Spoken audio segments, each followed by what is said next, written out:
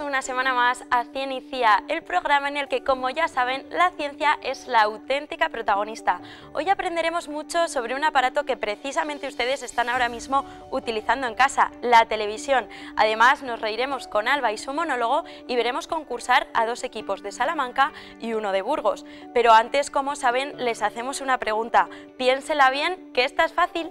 Cuando vamos a los eh, acuarios, pues vemos esos maravillosos seres tropicales que tienen luces que parpadean. Pues cuando vamos al campo, el capturar luciérnagas para ver cómo se iluminaban de noche. Nosotros eh, utilizamos, igual que utilizan los seres vivos, una serie de compuestos que cuando eh, adquieren un poco de energía eh, emiten luz. Lo utilizamos para señalizar peligros, peligros, por ejemplo, en la alimentación.